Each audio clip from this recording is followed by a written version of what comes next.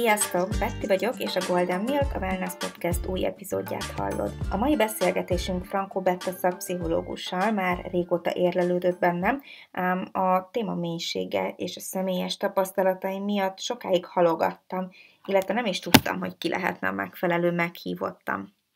Aztán hála az online térnek és az Instagram általi ismertségeknek megismertem Bettát, aki a tökéletes interjú alanynak tűnt a megnyugtató hangja és kedvessége segítségével nagyon komfortosan éreztem magam, és sikerült megnyugodnom és megnyílnom a halálszorongásommal kapcsolatban, olyannyira, hogy volt is fél órányi anyag, ami annyira személyesre sikerült, hogy ezt ki kellett vágnom.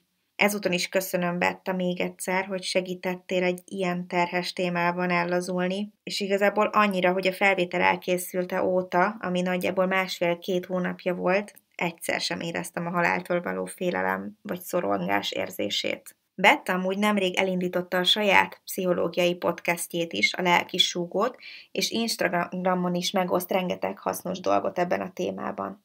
Hallgassatok bele a saját podcastjébe, és iratkozzatok fel rá, ha megtetszett a mai beszélgetésünk. Bízom benne, hogy esetleg aki magára ismer, és úgy érzi, hogy ő is ebben a szorongás fajtában szenved, az hallott itt olyan tippeket majd, olyan praktikákat, amelyeket a mindennapjaiban is tud alkalmazni, és el tud indulni az öngyógyítás útján. Most pedig jöjjön az interjú Bettával.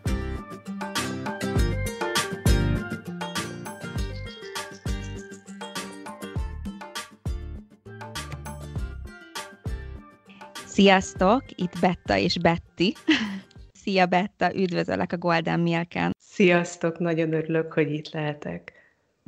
Hát én is nagyon örülök, mert hogy ez az első olyan adásom, így a két év után, ahol pszichológussal beszélgetek, és sőt, szerintem még soha kifejezetten pszichológussal, úgyhogy hogy ilyen jellegű témákról, konkrétumról így nem beszélgettem. Volt már egy-két terápiás tapasztalatom, de, de pszichológusnál még nem jártam, úgyhogy nagyon érdekes lesz szerintem, és, és izgulok. Én is nagyon kíváncsian várom a, a mait, meg, meg köszönöm még egyszer a, a meghívásodat, mert ez nekem egy nagyon tényleg megtisztelő felkérés volt.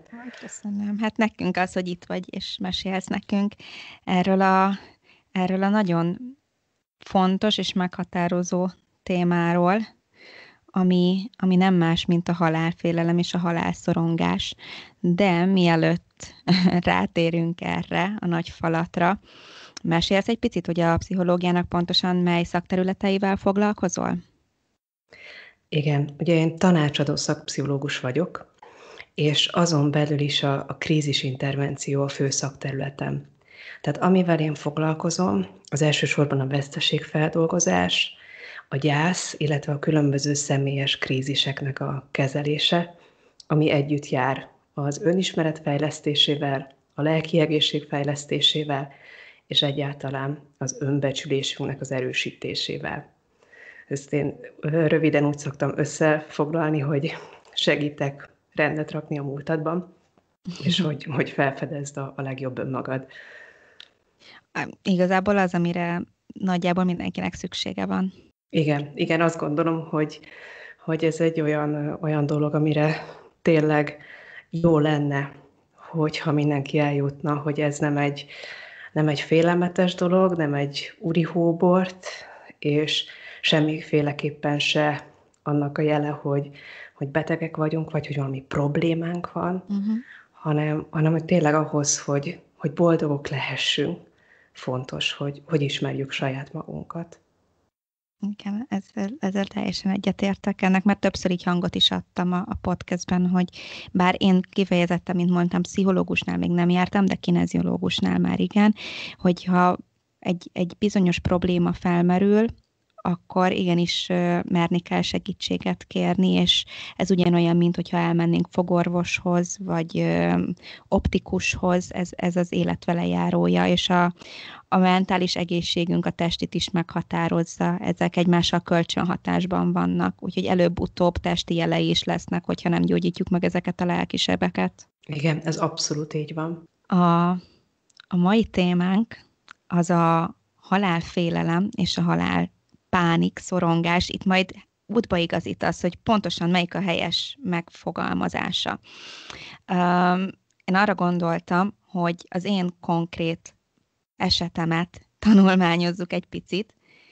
Um, azt kell, hogy tudjátok rólam, hogy volt egy-két veszteség az életemben, nő nagyszülőket veszítettem el, és ezen kívül így a halál nem, nem volt egy, egy központi téma vagy elem így az életem során nem volt hosszan húzódó betegség, ami által felkészülhettem volna esetleg mondjuk a, a nagyszüleim elveszítésére. Eléggé hirtelen jött mind a három.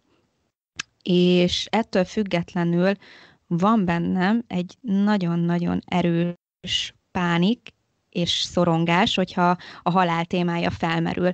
És nem is csak kifejezetten a halál, mint az elmúlás, hanem ez nagyon érdekes, most sokat gondolkodtam a felvétel előtt, hogy ezt majd hogy fogalmazzam meg, de így letisztult minden körülöttem, hogy összekötném így a, a létezéssel magával, hogy mi volt előttünk egy ilyen óriási üresség, nem léteztem, itt vagyok egy bizonyos ideig ezen a földön, és utána el fogok múlni, és fogalmam sincs, nekem se, neked se, senkinek, nektek sem, hogy mi van ezután, és ez egy óriási nagy pánikot kelt bennem, vagyis inkább szorongásnak mondanám, mert hogy a kifejezetten így a melkasomon kezdek el egy, egy ilyen lüktető, ö, nehéz tömeget érezni.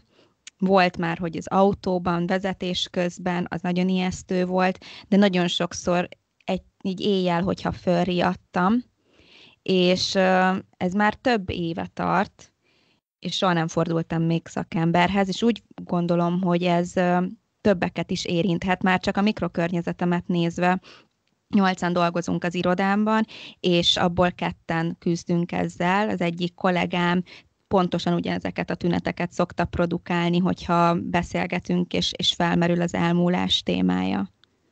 Igen, kapásból nagyon sok minden fontos tényezőt behoztál. Hú, hol is, hol is kezdjük? Meg, próbáljuk meg visszafele uh, lefejteni ezt a témát, hogy akkor tényleg mi is a, a, a félelem, a halálfélelem, a pánik, meg a, meg a szorongás között uh-huh. úgymond a különbség. Hogyha a szorongást vesszük, akkor ugye a szorongás az a leggyakoribb ö, mentális zavar tulajdonképpen.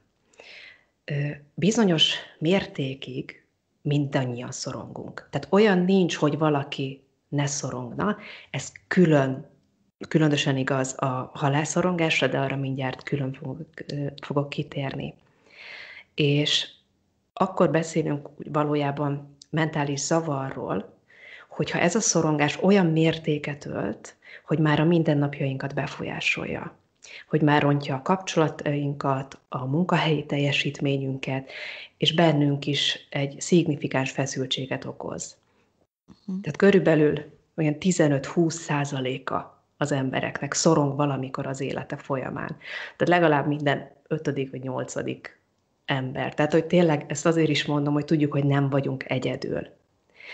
És ugye a, a szorongásos rohamnak a tünetei, azok megegyeznek a pánik rohamnak a tüneteivel. És azért is tartom fontosnak megkülönböztetni, mert az a tapasztalatom, hogy ezt összemossák ezt a kettőt. Hogy szorongásos zavaraim vannak, tehát pánikbeteg vagyok. Uh-huh. Ugye egy szorongásos roham az úgy néz ki, hogy a semmiből is elő tud jönni, de van, hogy egy, egy konkrét reakcióra, egy stressz helyzetre jön elő, tehát egy reaktív válasz a szervezet részéről, és ugye nagyon erős testi reakciókkal jár. Amit te is mondtál, a melkasi érzetek nagyon erősek, tehát a heves szívdobogástól kezdve a légszom, ez a súly érzés, vagy, vagy az, hogy tényleg olyan, mint hogy egy görcsben lenne az egész, egész melkasom a hörgői, ez nagyon jellegzetes. Ugye ezzel együtt jár az izzadás, a, a, a verejtékező tenyerek, azt, hogy elkezd minket rázni a hideg, de a szorongásnak lehetnek akár olyan tünetei is, mint a fejfájás, vagy a gyomorfájás, vagy, vagy hasmenés, tehát különböző ilyen bérrendszeri, bérrendszeri problémák. És egy szorongásos roham az, az általában egy 20 perc alatt csökken, de, de mindig nagyon egyéni, hogy mhm. kinek mikor jelenik meg, és van, hogy tényleg van egy ilyen, egy ilyen ismétlődés ebben, egy mintázat, hogy minden reggel, minden este, vagy olyan helyzetekben, mint mindig, amikor bemegyek a munkahelyemre. És hogyha, hogyha valaki hajlamos a szorongásra, én az vagyok, az, az mit jelent? Hát, hogy ugye azt mondtad, hogy ugye ez nagyjából ilyen 20 perces intervallumokban jelentkezhet. És én azt tapasztaltam magamon, hogy nem csak kifejezetten ez a halálszorongás, hanem én bizonyos ö, életszituációkra, helyzetekre ö, rá tudok így jobban stresszelni, és, és akkor tényleg mondjuk egy hétig nagyon erősen szorongok, de úgy, hogy mondjuk a, a gyomrom is így összeszorul folyamatosan, mint amikor hullámvasúton ülsz, akár éjjel is ö, fel tudok rá riadni. Ez, ez már ugye egy hosszabb annál a 20 percnél, ez még mindig ugyanabba a kategóriába tartozik, vagy ez már egy másik szint? Ugye ezt a, ezt a 20 percet, ezt így a rohamra értettem uh-huh. magára, mert ugye a szorongáson belül van nagyon sok alkategória. Tehát például külön beszélhetünk teljesítményszorongásról, amikor akár készülök egy vizsgára, vagy egy fontos megbeszélésre, vagy, vagy egyszerűen csak az az érzésem van, hogy hogy maximalista vagyok, és hogy nekem tényleg nagyon magas mércéket kell megugranom, és, és ezeken aggódok, hogy ezt, ezt sikerül-e megtennem. De beszélhetünk szociális szorongásról is, amikor, amikor más emberekkel, más, más kapcsolatokban élem meg elsősorban a szorongást, például amikor egy új helyzetbe kell bemennem, vagy, vagy meg kell szólalnom mások előtt. De a szorongásokon belül vannak például a fóbiák is.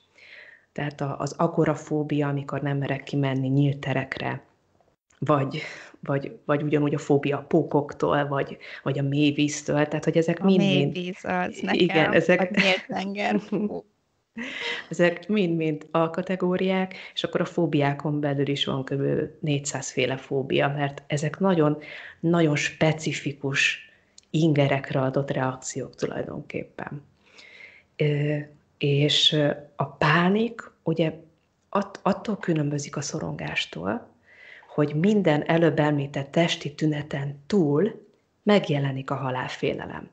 Tehát megjelenik annak az érzése, hogy én most vagy el fogom veszteni az emlékezetem, vagy eszméletem, igen, vagy, vagy azt, hogy, hogy, vagy konkrétan én szívrohamot kapok, én, én, most, most tényleg meghalok, tehát hogy, hogy ez a megszűnésnek a félelme.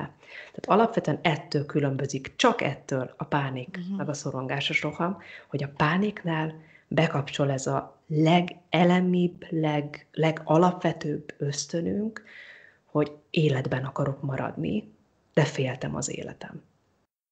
Akkor itt most definiáltuk, hogy nekem inkább ilyen halálszorongásom van, nem pánik rohamom a halál félelemtől. Ez már egy nagyon jó dolog, hogy így be tudtuk határolni, mert nekem sosem jutott az eszembe, hogy én, én megszűnök, vagy hogy életbe szeretnék abban a pillanatban maradni, inkább az elméleti síkon történő ö, elemzése az, ami, ami úgy erősebben hat rám. Igen, és ugye amit, amit az előbb is mondtam, hogy a halászorongás az azért egy különálló kategória, mert ameddig mondjuk tényleg kóros lehet az, hogy, hogy félek a pókoktól, például a, a, ilyen szempontból ez a szorongás, vagy, vagy, vagy kóros lehet egy szociális szorongás.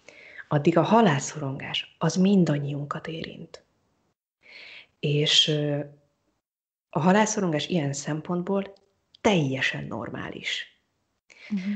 A, a különbség az a között van, hogy ez a, ez a szorongás, a halálszorongás kifejezetten, az rejtett vagy nem rejtetten jelenik meg. Tehát van, hogy valaki tényleg ki tudja mondani, hogy én a haláltól rettegek. Azon belül is nagyon nem mindegy, hogy, hogy mitől félünk. És, és itt már nagyon érdekes volt, amit te is behoztál, hogy, hogy ettől a nem léttől való félelem. Mhm, a teljes ami, megszűnés, ez igen, annyira ijesztő. Igen, ami, ami igazából az alapja ennek, ami együtt jár az emberi létezésünkkel. Az egzisztenciális pszichológia, ugye az a, az a része a pszichológiának, ami a leginkább foglalkozik a halálnak a kérdésével, és, és ő is ugye fölhívja arra a figyelmet, hogy amennyire rettegünk attól, ami a halál után történik velünk, annyira nem foglalkozunk azzal, hogy mi, mi, mi van velünk a halál előtt, a bocsánat, a, a születés előtt. Tehát, hogy ott, ott ugyanúgy, ahogy mondtad, nem voltunk, nem Igen. léteztünk. Azzal még, mégse, mégse, mégse szembesülünk, azzal, azzal mégse foglalkozunk, pedig valójában pont onnét jöttünk, és pont ugyanoda megyünk vissza.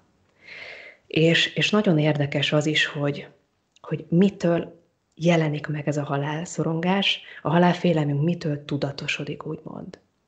Ez az, amit az előbb mondtam, hogy rejtett, vagy nem rejtett. Uh-huh. Mert lehetséges, hogy valakinek eszébe nem jut, hogy halálszorongása van, de mondjuk a, a kóros felhalmozása mögött ö, a halálszorongást ö, találnák meg okként, vagy, vagy amikor mondjuk valaki nagyon hajszolja az életnek az élvezetét, akkor se gondolnánk, hogy halálszorongás van mögötte, pedig könnyen lehet. És van, hogy tényleg, ahogy te is mondtad, ki tudjuk mondani, hogy igen, egyértelműen a, a létezésünk körüli félelmeink jelennek meg, de még akkor is nagyon sok oka lehet annak, hogy mitől alakul az ki. Tehát számít az, hogy milyen volt a legelső találkozásunk a halállal. Az egy negatív élmény volt, semleges, akár pozitív is lehet egyébként, de azért a legtöbben, legtöbben nem egy, nem egy pozitív spirituális élményként tekintenek mondjuk az első találkozásukra, hanem, hanem nagyon hozzá kapcsolódik az első gyászélményükhöz, amikor először elütötték a kiskutyámat. Vagy, ahogy te is mondtad, amikor, amikor először ö, találkozunk a, a vesztességgel, a gyász érzésével, amikor a nagyszüleinket elveszítjük. És, és tényleg, ahogy te is mondtad, számít, hogy volt-e korábbi tapasztalatunk a halállal, vagy a betegséggel, vagy tehát kísértünk-e mondjuk végig egy haldoklót, de mm. az is lehet, hogy pont az okoz bennünk szorongást, hogy semmi fajta kapcsolatunk nem volt a halállal. Tehát, hogy teljesen elkerült az életünket, és úgymond az ismeretlentől való félelem az, ami még inkább fölerősíti bennünk a, a halálszorongást. És akkor ilyen dolgok is lehetnek például az, hogy milyen a, milyen a biztonságérzeted, hogy a saját életedben hol éled meg a biztonságot, hogyan éled azt meg. Hogyha, hogyha nincs meg ez a biztonságérzés, akkor az minden szorongást föl tud erősíteni, a halálszorongást azt főleg. De még az önmagaddal való kapcsolat is számíthat, hogy milyen az önképed, hogy stabil az önbecsülésed, és hogy, hogy, hogy mit gondolsz a, az önmegvalósításról például. Hogy, hogy a saját életeddel kapcsolatban érzed-e azt, hogy te egy teljes életet élsz, hogy kibontakoztatod-e a, a tehetségeidet, vagy sem. Mert hogyha azt, éred, azt érzed, hogy be vagy zárva az életedbe, hogy nem úgy kelsz föl minden nap, hogy de jó, hogy élek, és kitehetek valamit a világban magamból, akkor ez is okozhat egy halálszorongást. És utolsónak még azt említeni meg, amit te is mondtál, hogy, hogy lehetnek még mindezeken túl önmagunkon túlmutató okok is. Tehát ezeket nevezük transgenerációs hatásoknak, vagy transpersonális hatásoknak. És így például annak is lehet jelentősége, hogy voltak-e milyen belüli traumáink, ilyen pre, prenatális veszteségek. Tehát, hogyha például elvesztettük az ikertestvérünket, uh-huh. az is felerősítheti a halálszorongásunkat. Vagy a családfánkban, hogyha vannak a halállal kapcsolatosan nagy, nagy traumák vagy érdekes történetek. Az előző generációknak a, az érzelmi terhei és traumái is megjelenhetnek a mi életünkben. Tehát, hogyha például valakinek az ősei ki voltak téve a holokauszt borzalmainak, akkor az ő halálszorongásuk az kvázi öröklődhet. Ezen ilyen különböző traumakutatások foglalkoznak, ez egy nagyon érdekes külön terep a témában. Pont ez lett volna, hogy a következő kérdésem, hogy maga erre a szorongásra való hajlam is örökölhető-e, mert nálunk én azt tapasztaltam, hogy az egyik szülőm az hasonlóan rettegettől, és ő próbálja az erős oldalát mutatni, amikor esetleg egy olyan beszélgetés kerekedik, ahol már érezzük mindketten, hogy ez olyan irányba fog kifutni. Lehet, hogy mondjuk az, az asztaltársaságnál a többiek nem is tudják, hogy, hogy ez itt egy olyan trigger, vagy egy olyan pont lehet, ami, ami bennünk elindítja egy picit ezt a halálfélelmet, de mi már tudjuk, és ő nyilván szülőként próbálja ilyenkor a, az erősebb oldalát mutatni, de, de látom, hogy amúgy teljesen ugyanaz, mint hogyha tényleg így az egészet tőle örököltem volna meg, mint egy kis csomagot. Mm-hmm. Ez is nagyon érdekes, amit mondasz, hogy a szüleinkben. Tehát ugye ez is nagyon érdekes, hogy a szüleink milyen mintákat adnak nekünk a halállal kapcsolatosan. És ugye egyrészt a szorongásnak igenis van egy genetikai hajlama, de talán még fontosabb az, hogy milyen viselkedéses mintát látsz vagy, vagy hogy a kommunikációtokban az hogyan jelenik meg. Hogyha egy kisgyerek először elkezdi kérdezni a, a szüleit arról, hogy mit jelent ez a halál dolog, akkor nagyon sok szülő megijed. Pedig a gyerekek már nagyon kicsi korban elkezdenek foglalkozni a témával. Tehát már akár óvodáskorban, de főleg ilyen 5-8 éves kor között rettentően foglalkoztatja a gyerekeket legtöbben vissza tudunk egyébként erre emlékezni, hogy hogy gyerekként mit gondoltunk erről a dologról. És ugye nagyon sokat számít ebben a kérdésben, hogy mit mondtak nekünk a szüleink. Az a baj, hogy ha nem beszéltek velünk róla, akkor hajlamosabbak, hajlamosak lehetünk arra, hogy borzasztóbbnak színezzük ki a dolgokat, mint amik.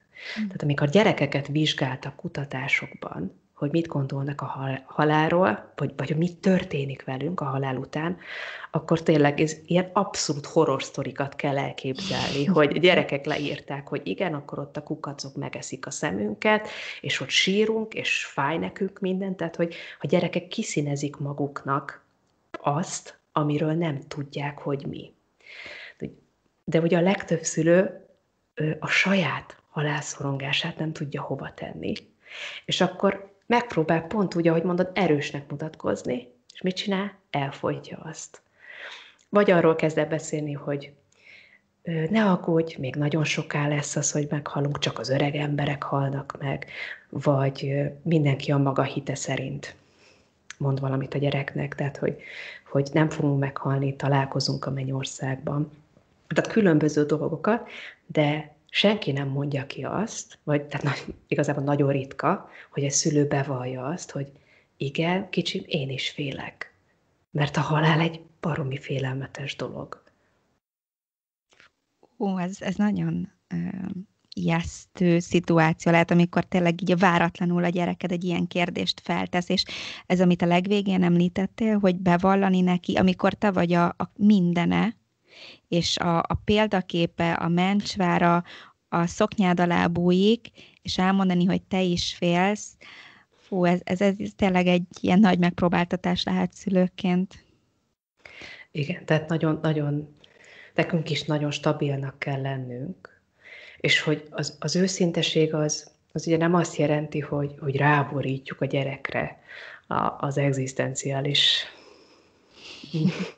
hát minek, minek nevezzük ezt tényleg, tehát ennek az egész kérdésnek az egzisztenciális súlyát.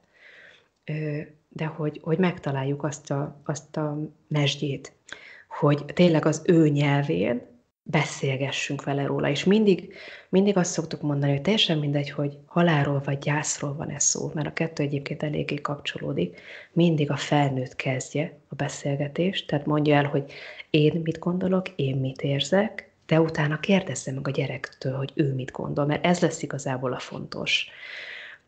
És akkor sokkal jobban is tudunk reagálni szülőként. és kiderül, hogy a gyerek mit színezett ki magának, vagy, vagy hogy mit gondol, és, és adott esetben meg tudjuk erősíteni akkor a, a, a, a gyerkőcünket. Egyszerűen csak azért, vagy egyszerűen csak annak a segítségével, hogy meghallgatjuk őt, és az ő kis, kis érzéseire reagálunk. Most felmerült bennem amúgy egy kérdés, de lehet, hogy ez külön egy epizódot, vagy egy külön podcastet megértem el, egy egész podcast csatornát, és, és lehet, hogy azt mondod, hogy ezt inkább tegyük félre. Mondtad, hogy hogy legtöbbünk visszaemlékszik az első élményére, amikor elkezdte ezt foglalkoztatni, vagy először találkozott a halállal.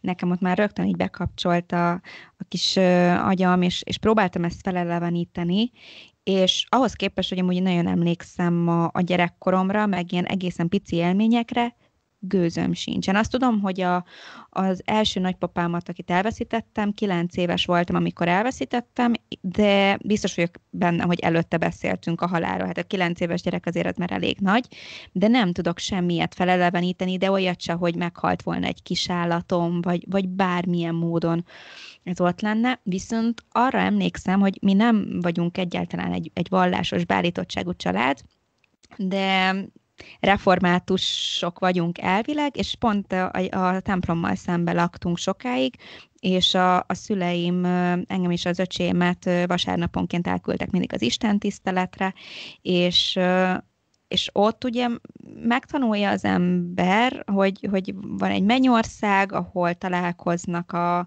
az emberek a szeretteivel, illetve, illetve hogy van egy, egy pokol, ahova a gonoszak kerülnek, és most itt bevillant még egy dolog, hogy, hogy mi még talán egy ilyen korábbi emlék, hogy a szomszédaink pedig Jehova tanulják voltak, és a, ezeket az ilyen könyveket, képes könyveket, biztos láttad már ezeket, tudod, amilyen rengeteg ilyen paradicsomi képpel van tele, és akkor ugye mindig mondták, hogy a paradicsomba találkoznak a szeretteik egymással, de mivel mi nem vagyunk vallásos beállítottságú család, ezért nem is tudom, hogy ezt amúgy valamikor komolyan vettem-e, tényleg elhittem-e, de hogy hogyha azt vizsgálják pszichológiai szempontból, hogy vallásos gyerekek hogy reagálnak a halálra, illetve ö, nem vallásos gyerekek, illetve ők felnőtt korukban, hogyha mondjuk később már, már nem gyakorolják a vallást, ebben milyen különbségeket lehet tapasztalni? Ú, ez egy nagyon érdekes téma tényleg, amit itt behoztál, így a vallással kapcsolatosan. És az is, hogy, hogy, hogy látod, hogy mennyire megmaradnak ezek a lenyomatok, uh-huh. így ezekkel kapcsolatosan, hogy, hogy mond, hogyha tényleg egy szemellenző, szemellenzővel próbálnál járni, akkor is gyerekként kapnád ezeket a nézeteket, kapnád ezeket a paradicsomi elképzeléseket vagy képeket. És a, a halálszorongás szempontjából a, a vallás az egyébként egy, egy védőfaktor szokott lenni általában, mert elveheti a, a, a halászorongásnak az élét, úgymond. Viszont a, a másik oldalról pedig akár gyerekként egyáltalán nem biztos, hogy tud segíteni, amikor van egy konkrét gyászhelyzet. Tehát persze felnőttként sem, tehát hogyha, hogyha ezt most így röviden kifejtem, akkor ugye bármilyen veszteség ér bennünket, arra a természetes és normális reakciónk a gyász.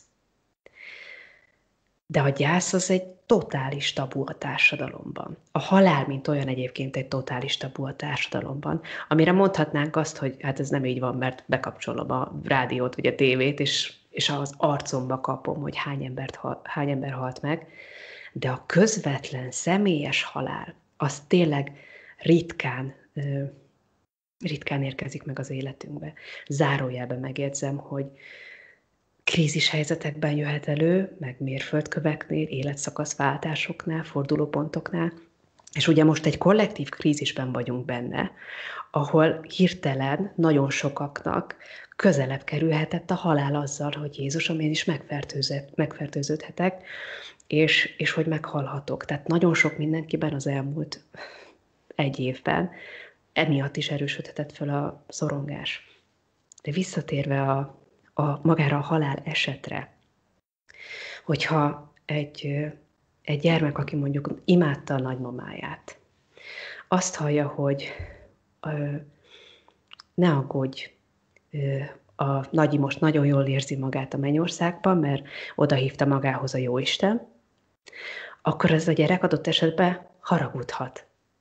A mennyországra, haragudhat a Jóistenre, és egyáltalán nem biztos, hogy, hogy az lesz az eredmény, hogy, hogy megerősödik, úgymond a, úgymond a hite. Ugyanúgy egy felnőttnek is, hogyha ezt mondják, akkor a gyász az inkább megrengeti a vallásba, meg az Istenbe vetett hitünket, semmint, hogy, hogy megerősíti azt általában. Főleg, hogyha ilyeneket mondanak, hogy hát ez a jó Istennek volt az akarata, uh-huh. vagy a mhm. sorsé, és hogy ugye ezek olyan ö, megjegyzések a környezetnek a részéről, amivel ugye törekszenek a mi gyászunkat enyhíteni, de az intellektuális igazságok és ezek az aranyköpés mondatok tulajdonképpen soha nem vezetnek eredményre. Mert a legtöbbnek ez az üzenete, hogy legyél erős, ne sírjál, fosd el, a, fosd el az érzéseid, pótold a hiányát, a másiknak foglald le magad, de semmiféleképpen se érezd azt a fájdalmat, ami pedig teljesen normális és természetes. És így akadhat el a gyász. A, a vallással kapcsolatosan azt nagyon fontosnak tartom ö, még elmondani, hogy tényleg nincs jó vagy rossz válasz, úgymond ebből a szempontból, saját magunkra vonatkoztatva. Tehát, hogyha ha mi hiszünk valamiben, és mi azt tényleg őszintén tudjuk, hitelesen tudjuk átadni, vállalni és a mögé állni, akkor beszélhetünk a mi vallási meggyőződéseinkről akár a gyerekkel, akár tényleg így, így saját magunknak a szempontjából, hogy ö, biztos lesznek olyanok, akik megkérdőjelezik a nézeteinket, de hogyha a vallás az nekünk egy kapaszkodó pont, akkor kapaszkodjunk bele. Tehát a hit az, az rengeteget tud segíteni. És hogyha nem érezzük magunkat se vallásosnak, se nem érezzük azt, hogy, valamilyen természetfeletti hitrendszer az minket támogatna, akkor baromi fontos azt tudnunk, hogy a halálszorongás szempontjából egyáltalán nem vagyunk hátrányban. Mert a, a, a halálszorongás leküzdéséhez valójában ugyanazok a dolgok tudnak hozzá segíteni. Nem a vallás fogja eldönteni azt, hogy ez sikerül-e vagy sem. Mm. Ez milyen szép gondolat. Um, hogyha már felismertük akkor, hogy halálszorongásunk van, esetleg éppen akut tünetünk van, mit tegyünk ilyenkor? Az akut tünetek. Na. Ha az akut tüneteket nézzük, akkor minden, minden szorongásra bevethetjük ugyanazokat a dolgokat tehát a légző gyakorlatok tudnak segíteni, valamilyen relaxációs technika.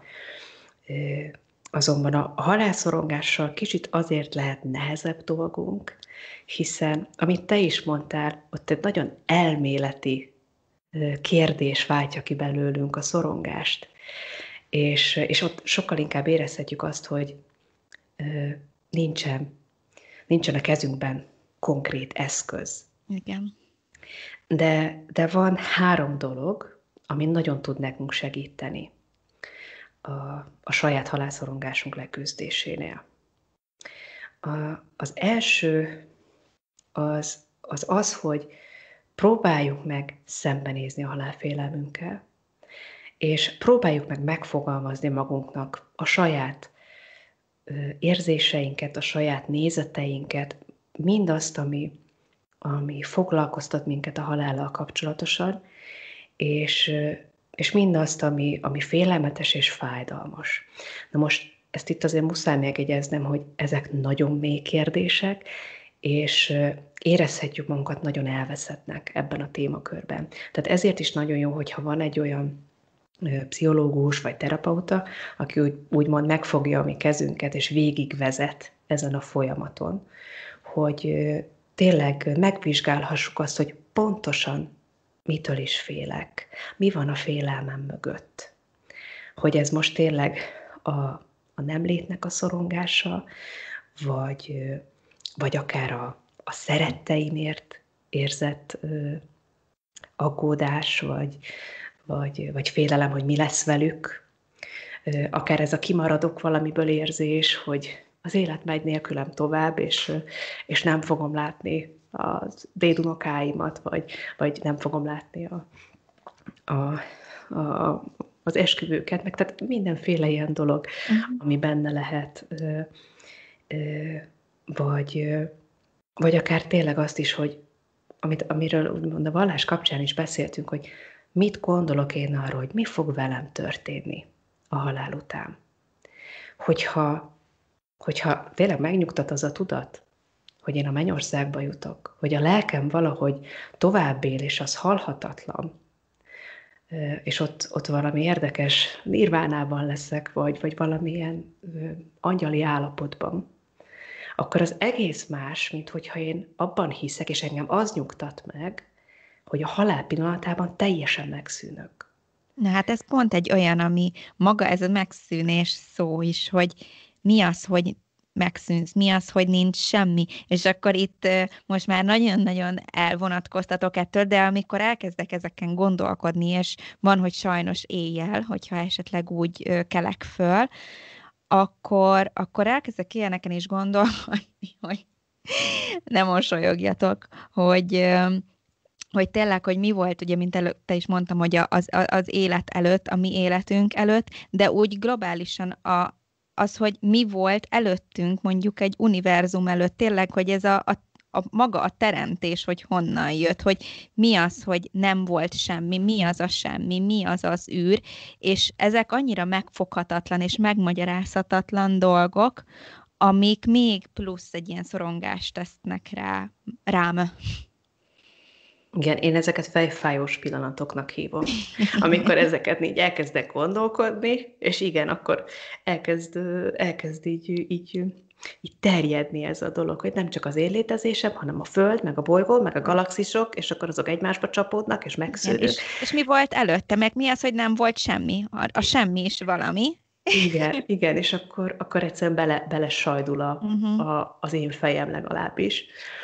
És, és akkor így leállítom magam, hogy oké, okay. ez is normális, hogy, hogy ez így van.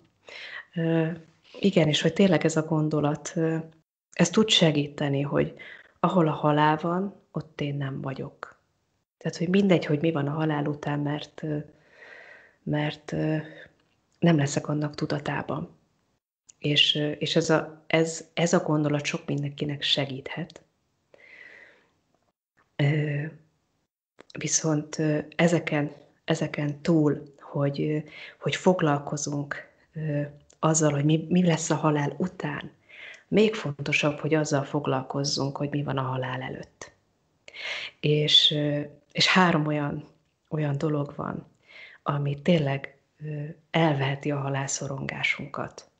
Ebből az egyik a tovagyűrűzésnek a jelensége.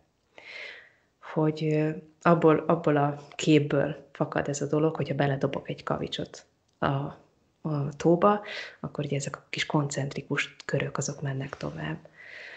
És hogy, hogy ez tényleg, tényleg egy, egy jó érzés tud nekünk lenni, hogy akkor is, amikor én nem leszek, az én tetteimnek lehet egy hatása. Az, amit én képviselek, az valakiben tovább élhet.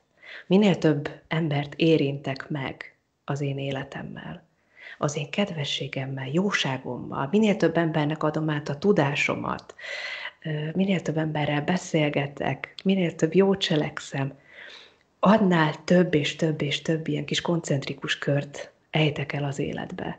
És igen, nem fogom tudni, hogy azok hova mennek, de önmagában ez az érzés, hogy az életemnek van egy értelme, az, az egy ilyen nagyon kulcsfontosságú dolog a halászorongásnak a leküzdésében. Mert az értelmetlen mindennapok, amikor azt érzem, hogy, hogy fölébredek, Nem azzal foglalkozok, amivel szeretnék. Nem, nem, nem tudom megteremteni magam számára azt, a, azt az életet, amit akarok, akkor ez rendkívüli módon taszíthat minket a szorongásba, akár a depresszióba, és egyáltalán ebbe az érzésbe, hogy, hogy nem szeretek élni, hogy minek élni, hogy, hogy hiába való. És ugyan eljuthatunk oda, hogy egyébként minek töröm én magam, Minek, hogyha, hogyha úgy is megszűnök, úgy is fölrobban majd egy idő után a világegyetem, minden, amit én teremtek és alkotok, az el fog tűnni. De hogyha ezt elhiszem, hogy igenis annak a kis gyűrűnek, amit én oda eldobok, most, az itt és mostban van egy szignifikáns hatása, és én azzal más életeket jobbá teszek, szebbé teszek, akkor, akkor már egész máshogy tudok reggel fölkelni. Mm-hmm.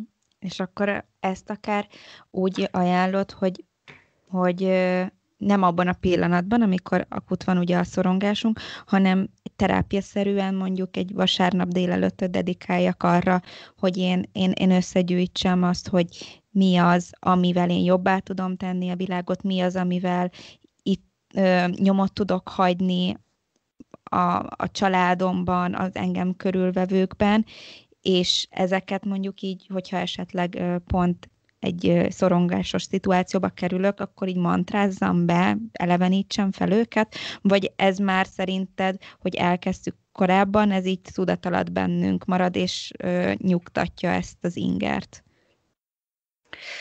Egyrészt úgy van, ahogy mondod, hogy ez úgy bennünk dolgozik tovább, másrészt egy egy ilyen akut helyzetben is, igen, lehet támaszkodni mantrákra. Lehet arra támaszkodni, hogy tényleg a jelenbe hívjuk magunkat vissza. Ugye a halászorongás az így nagyon hajlamos előre szaladni. Nagyon hajlamos a, a, a jövőben ö, ö, gyökeret vetni, hogy mi lesz, ha, mi lehetne, ö, mi fog történni, és hogy valójában tényleg, hogyha megtaláljuk a kapaszkodót abban, hogy itt és most, élek, itt és most biztonságban vagyok, itt és most levegőt kapok, itt és most szabadon dönthetek a saját érzéseim felett, akkor ez segíthet minket földelni. És, és tényleg föltehetjük magunknak ezeket a kérdéseket, hogy mit is akarok képviselni az életben. És nem kell feltétlenül világmegváltó nagy tervekre gondolni hogy óriási nyomokat hagyni, és hogy az lesz az igazán nagy tovagyűrűzés, hogyha százezrek ismerik a, a, a nevemet, vagy hallgatják az előadásaimat, hanem ilyen teljesen apró kicsi dolgok. Tehát gondolok itt például arra, hogy nekünk az utcánkban van egy CBA, és a CBA-ban ott van a Vali néni. És ha, ha hogyha bemegy a két éves gyereke a CBA-ba, akkor a Vali néni távolról köszön, hogy szia Pirinyó! és, és a múltkor is tök hosszú sor volt, és volt egy teljesen szabad kassa, de mindenki a Vali nénihez állt be. Mert a Vali néni annyira jó fej, és annyira kedves, és mindig van egy jó szava. Tehát, hogy tényleg nem kell arra gondolni, hogy, hogy Vali néni könyvet ír az életéből, és azt milliók olvassák, de hogy hány meg hány embernek teszi ezt a teljesen napi rutin cselekedetét, a bevásárlását egy szép élményé. Tehát ilyen valinéniket a világnak. Tényleg. Eszembe is juttatott pár ilyet, aki, aki nem családom, nem közeli hozzátartozom, de de az biztos, hogy olyan sok embernek a, az életébe belopta magát, hogy nagyon-nagyon messzire eljuttatta, eljutatta magát az emlékezetekben. Igen. És hogy tényleg ez is egy érdekes do- dolog, hogy ki mindenkiből mire emlékezünk, mi marad meg, és, és sokszor egészen pici, pici dolgok, amiket így az őseinktől is kapunk tovább, hogy, hogy igen, azok voltak a nagy emlékeink, mikor gombát szedtünk az erdőben, vagy egyedül a mama tudott olyan mákos gubát készíteni. És hogy ez pont a, a második dologhoz kapcsolódik, ami csökkenti a halálszorongást, ez pedig a kapcsolatainknak a, a megélése, és a minél mélyebb, minél őszintébb kapcsolódása az embertársainkkal. Hogy, hogyha azt éljük meg tényleg, hogy, hogy, hogy, hogy ez, ez, a, ez a mély kötődés van közöttünk, ez a szeretet, ezek a szép emlékek és pillanatok és élmények, amiket gyűjthetünk, akkor ebbe, ebbe fogunk tudni kapaszkodni, mi is egyrészt, másrészt pedig a, az utánunk következők is ilyen dolgokra fognak emlékezni igazán belőlünk, hogy milyen érzéseket váltottunk ki egymásban. Ez tud amúgy átesni a ló túloldalára is, hogy túlságosan ragaszkodunk ilyen emlékekhez, nem tudjuk őket elengedni? Ezt saját tapasztalatból kérdezem, mert pont mondjuk a nagymamámmal, akit a legkésőbb veszítettem el, ővele voltam a, a leg, ö, legközelebbi kapcsolatban a, a három elveszített nagyszülőm közül, és olyan rengeteg-rengeteg meghatározó kicsi emlék van, és már nagyobb voltam, 24, amikor meghalt a mama, és a mai napig egyszerűen voltak elvaratlan dolgok, meg szálak, de a mai napig nincsen egy olyan nap, amikor ne jutna eszembe, és jó és rossz dolgok is, de annyira azt érzem, mint hogyha néha így a, a múltbéli ilyen emlékeknek a, a rabja lennék, és, és néha így megkérdőjelezem, hogy ez, ez jó-e, mert ez táplálja a lelkemet, meg ezek mégiscsak melegséget adó emlékek, vagy ez túl sok esetleg, és, és el kell ezeket engedni, és lehet, hogy akkor könnyebben fel tudnám ezt a gyászt dolgozni. Tehát ugye ez azért egy érdekes dolog, mert, mert igen, a, a, a halálszorongás mögött, ahogy mondtam, néha azt is felfedezhetjük, hogy egyszerűen annyira erős érzelmi kötődésünk van valakihez, hogy annyira szeretünk valakit, vagy annyira szerettünk valakit. És, és hogy akár a szeretteinkért, az élő szeretteinkért való aggódás is válthat ki bennünk halálszorongást, de, de amikor elvesztettünk valakit, akkor sokkal inkább a gyászérzése az, ami, ami kiemelkedik. És ugye az is, hogy tehát meg kell vizsgálni, hogy, hogy neked az életedben milyen üzeneteket kaptál a gyászsal kapcsolatosan. Akár azt, hogy meddig szabad gyászolni, hogyan szabad gyászolni, hogy oké, okay, hogyha három hónapig gondolsz a, a szerettedre és sírsz, akkor az még oké, okay, de azért egy év után már azért nem kéne, hogy, nem kéne, hogy hiányozzon. És hogy, hogy, hogy a gyásznak egyrészt megvan a saját egyedi ritmusa, nincs két ugyanolyan gyász, mert nincs két ugyanolyan kapcsolat, de, de az, hogy hiányzik a másik, az teljesen természetes és normális. Hiszen szerettük, hát az, az lenne a furcsa, hogyha hogyha nem hiányozna. Elfelejteni nem is tudjuk, se a jót egyébként, se a rosszat nem tudjuk elfelejteni, hiszen a, hiszen a múltunknak a része. De hogy ez, én úgy hallom, hogy tényleg arról szól, hogy, hogy ott közöttetek volt egy, egy nagyon erős szeretett kapcsolat, egy nagyon erős kötődés, és hogy valami olyasmit kaptál, valami olyan minőséget, amit, amit azóta se tud más pótolni, és persze nem is tudja senki azt adni, amit akkor tőle kaptál. Tele hiszen, is könnyeztem. Igen, hiszen azt, azt csak tőle kaptad. Az csak ő volt. És ő így gyűrűződik tovább benned. Ezzel az érzés, amit viszel magadhoz. Nem kell magadat vádolnod amiatt, hogy miért gondolsz még, még rá, miért, miért nem engedted el szusszanok egyet, egy kifolyom a levegőt. Jaj. A harmadik dolog, amivel a halálszorongásunkat tudjuk csökkenteni, hogyha tényleg az életünkre fókuszálunk. És arra, hogy én hogyan akarok élni, hogy mit jelent nekem a teljes élet. Ami kicsit az is, amiről az előbb beszéltünk, hogy ki akarok én lenni, ki vagyok én, és, és kicsit az is, hogy mit jelent nekem az önmegvalósítás. És nagyon sokszor a halálszorongás mögött felfedezhetünk valamilyen megbánást. Azt, hogy akartam volna, de nem tettem. mert azt mondták, hogy butaság, mert nem volt kellő önbizalmam, mert féltem, hogy mit fognak rá reagálni, és, és hogy így megakadályozzuk magunkat abban, hogy a lehető legteljesebb életünket éljük. És amikor ugye haldoklókkal beszélgettek, sok, sok ilyen kutatás van, meg könyv ezzel kapcsolatosan, akkor ők is mindig erről beszélnek, hogy akkor tudtak jól meghalni. Akkor érezték magukat nyugodtnak, hogyha azt érezték, hogy mindent megtettem, nem bántam meg semmit.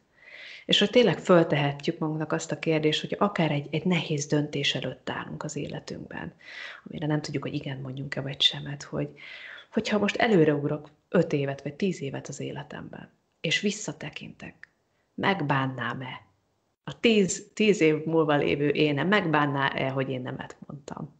Mm. És általában ezek, ezek, ezekre a kérdésekre zsigeri szinten tudjuk a választ, hogy persze, hogy megbánnám. Vagy az, hogy hát valójában igazából nem érdekli. Nem mm. érdekli az énemet. És, és hogy tényleg nagyon fontos, hogy olyan döntéseket hozzunk, ami a saját boldogságunkat szolgálják, de ebben nagyon nagy önismereti munka kell, hogy legyen igen sokszor. Mert, mert ott vannak a döntéseink mögött a, a, a pszichológiai traumáink, veszteségeink, az alacsony önbizalmunk, és még sorol, sorolhatnánk, hogy tényleg mennyi, mennyi tényező, ami megakadályoz minket. De hogy ezért is érdemes foglalkozni az önfejlesztéssel, és, és abban, hogy a, tehát, és igen, az önfejlesztéssel, és azzal, hogy, hogy tényleg megkeressük azokat a dolgokat, amik motiválnak, amik erővel és örömmel töltenek fel bennünket. És hogy ez nagyon fontos tudni, nem baj, hogyha ezt nem tudjuk éppen, hogyha éppen nem tudjuk, hogy mi az, ami, amit, amit szeretünk csinálni, vagy szeretnénk csinálni. Ne akadályozzon meg minket az, hogy még keressük ezeket, abban, hogy, hogy elinduljunk az úton. És, és akkor tényleg, tényleg, hogyha csak egy évre ugrunk előre, akkor, akkor ez már egy olyan kicsi szakasz tud lenni, ami belátható, és azt mondjuk, hogy egy év múlva mit szeretnék érezni. Az egy év múlva lévő énem, mit szerettem mondani, hogy mi mindent próbáltam ki, mi mindennel kísérleteztem egy éven keresztül. És ez akkor megközelít ez a megközelítés nagyon tetszik, mert hogy bármennyire is egy negatív, egy fekete lyuk ez a téma, ez a szorongás, mégis egy ilyen nagyon pozitív aspektusból próbálod meg egy, egy, egy jobb irányba terelni, és talán ez az összes problémánkra, az összes szorongásunkra igaz lehet ez az utolsó dolog, amit most itt mondtál, hogy önmagunkat kell csiszolgatni, és formálni, és a lehető leges legtöbbet kihozni, és hogy tényleg mennyire fontos az, hogy foglalkozzunk a saját utunkkal, és, és a saját személyiségünk fejlesztésével, nem csak materiálisan az, hogy mit érünk el anyagilag, hanem az, hogy emberileg hova tudunk fejlődni. Igen, és hogy ezt egyértelműen tényleg bebizonyították, és ezzel sokan foglalkoztak, hogy a halállal való találkozás, tehát akár ilyen halálközeli élmények, azok legtöbb esetben a személyiségnek a, a pozitív fejlődését hozták maguk után. Mert abba hagyják az emberek a halogatást, átértékelik a prioritásaikat, hogy mi is az életemben, ami számít, mi is az, amit én értékesnek tartok, és, és általában megértőbbé, elfogadóbbá, nyitottá és emberközpontúbbá teszi a, a, az embereket. Úgyhogy félelmetes téma, de érdemes vele foglalkozni, mert hatalmas táblatokat nyithat bennünk. Ez egy tökéletes lezárása volt szerintem. Hú, hát egy picit könnyebb vizekre átevezve van három epizód végi visszatérő kérdésem, és az első az az, hogy mikor érzed magadat a legszebbnek? Legszebbnek? egy olyan reggele, amilyen nagyon jól indult, ahol úgy megmozgattam magam, jó kedvel ébredek, letusoltam a hajat mosta, az, az nagyon fontos, és, és felteszek egy kis kencét az arcomra, és, és utána főzök egy kávét a páromnak, és azt, azt akkor beviszem neki a, a, a nappalinkba, vagy, vagy oda az ágyba hozzá, és úgy hozzábújok, és még előtte befújom magam a kedvenc rózsás parfümömmel. ez egy komplex rituálé. De hogyha ez megvan, akkor, akkor valahogy olyan nagyon nőiesnek érzem magam. És, és ezt szeretem, mert ez egy olyan dolog, amit így tényleg rendszeresen meg tudok tenni. Mm. És akkor jól indul az egész napom. Nagyon tetszik ez a válasz. A második az az, hogy ha csak egy tanácsot adhatnál a hallgatóknak, hogy mit tehetnek azért, mit tanácsolnál nekik azért, hogy boldogabbak legyenek, boldogabban éljék az életüket, akkor mi lenne ez a kis rövid életbölcsesség? Azt hiszem, hogy így a téma kapcsán is azt mondanám, hogy, hogy tényleg az élet rövidsége miatt ne engedjék, hogy olyan, olyan emberek mérgezzék a, a gondolataikat és az önértékelésüket, akik, akik nem érdemlik meg, hogy, hogy helyük legyen a, az elméjükben. És tudom, hogy ez nagyon nehéz, és hogy hosszú út vezethet odáig, hogy, hogy tényleg elhiggyük azt, hogy csak azért, mert valaki mond rám valamit, az, az egyáltalán nem biztos, hogy igaz. Uh-huh. De hogy, hogy ebben erősödjünk meg, hogy, hogy az vagy, aki lenni szeretnél, és jó vagy úgy, ahogy, és hogy ne enged, hogy bárki valamikor elültesse benned azt a kétséget, hogy ez nincsen így. Hm. Ezt köszönjük. És az utolsó kérdés, ez pedig az, hogy mit jelent számodra a tökéletes én nap, amikor teljesen fel tudsz töltődni? Ez mondjuk az előző kérdés annak a folytatása. ez, ez, ez biztos, hogy változott az évek alatt.